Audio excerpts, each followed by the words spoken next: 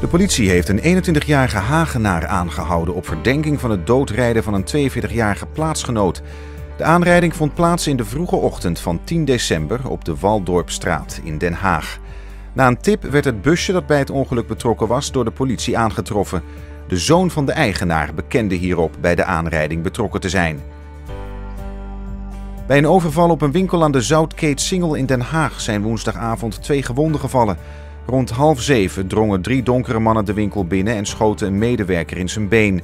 Een andere winkelbediende werd op zijn hoofd geslagen. De overvallers zijn er met een onbekend geldbedrag vandoor gegaan. De voorlopige hechtenis van de 19-jarige Delftenaar, die wordt verdacht van de overval op een supermarkt in Moerkapelle, is met 90 dagen verlengd.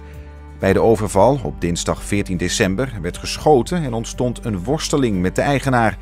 Een 20-jarige handlanger kwam bij de overval om het leven door een val van de trap. In Delft worden donderdag 2000 oliebollen gebakken voor de voedselbank. Vooral werklozen en mensen die in echtscheiding liggen kloppen aan bij de liefdadigheidsinstelling.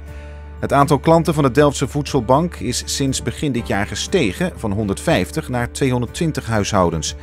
Een deel van de 2000 bepoederde oliebollen wordt bezorgd bij dak- en thuislozen.